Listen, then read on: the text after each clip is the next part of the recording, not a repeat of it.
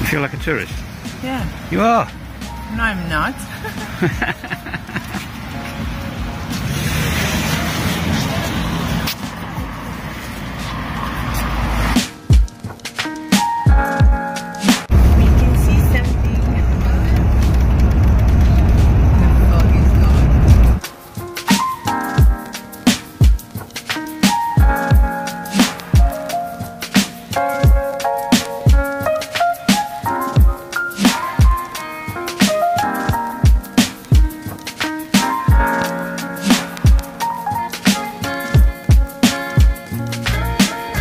So here we are, we arrived at Niagara Falls and this is a short break but soon now we're gonna head to see the horseshoe.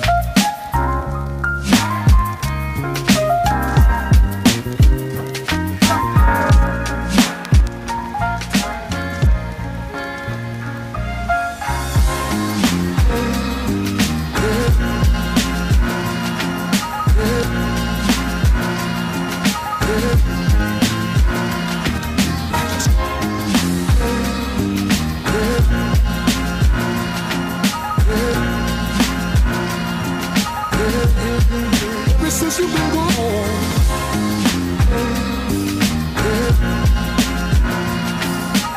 Very, very, very interesting morning here at uh, Niagara Falls. We're on the Canadian side, over the other side of the gorge is the United States. Thousands and thousands and thousands of tons of water, 300,000 tons a minute apparently, cascading over.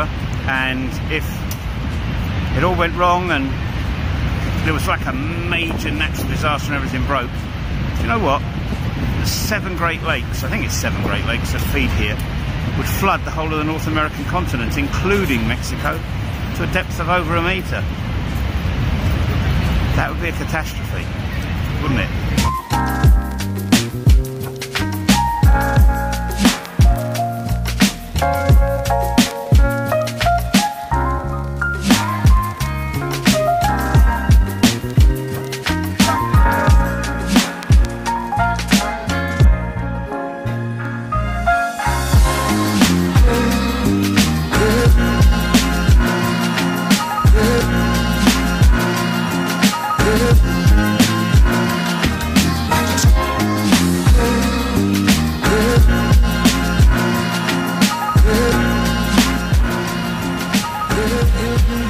Since you've been gone.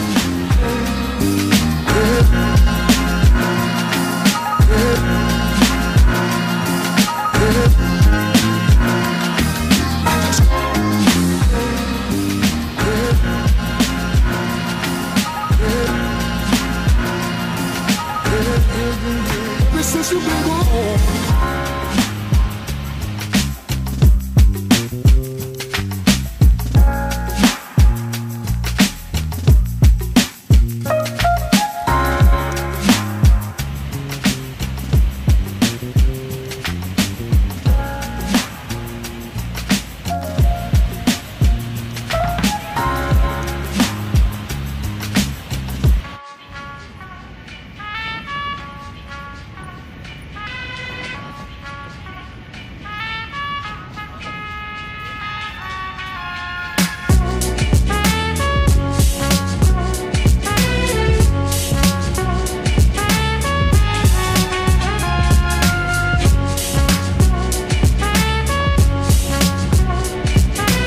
What has the trip to Niagara Falls been like for you?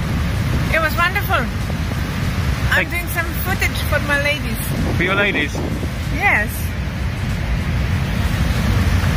you came before. Has it changed in, in nearly 15 years? Niagara Falls has changed in the last not 15, 25 years. Has changed. There's slightly more, few more restaurants, and I don't know. Yeah, things changed, but the falls didn't change. The horseshoe didn't change. So look at the horseshoe.